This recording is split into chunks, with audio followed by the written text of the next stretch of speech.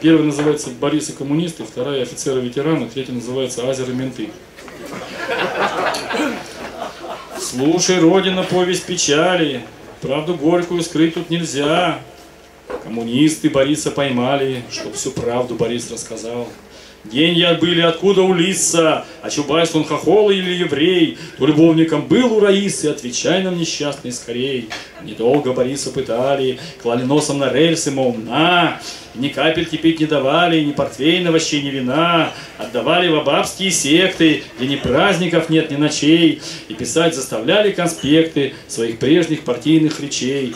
Коммунисты, а их было трое, два лохматых, а третий же лыс. Издевались над нашим героем, ну и крумал без хлеба, давись. Снайперов 38 позвали, били точечно в ухо и в глаз. И в машине для пыток катали под ужасным названием «ГАЗ».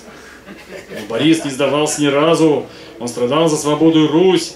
Говорил коммунистам, «Сразы! Все равно вас ничуть не боюсь! Он орел нас степной не сдается, ни плешивости, ни волосам, прямо в рожи врагам смеется. Вот вам, сволочи, хрен по усам, хоть Калашников выньте, хоть Узи, демократа вам не запугать. Слава доллару, Клинтону, слава, таратара татара та мать. Спасибо. Иди уже, все, хватит, я уже... Все, перерыв, да, перерыв, 10 минут. Покурить и оправиться.